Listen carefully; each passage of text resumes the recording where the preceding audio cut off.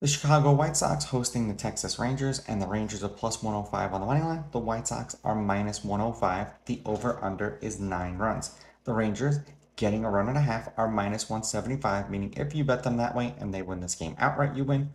They lose by one, you win. The White Sox laying a run and a half are plus 150, meaning if you bet them that way, they have to win this game by two. Now, Otto did not pitch against the White Sox either last year or this year, and Martin is a rookie, so this is his first time pitching against the Rangers.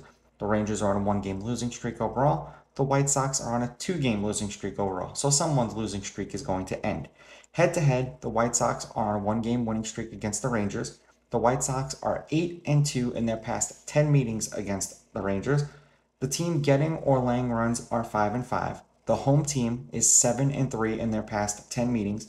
The under is 6 and 4 and the under 9 specifically is 6 3 and 1 meaning 6 games went under 9 3 games went over and 1 game hit 9 exactly.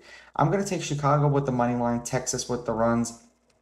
And i know looking at both of these pitchers eras you'd want to scream going over but i'm going to go under because that's what most of these games have trended to do.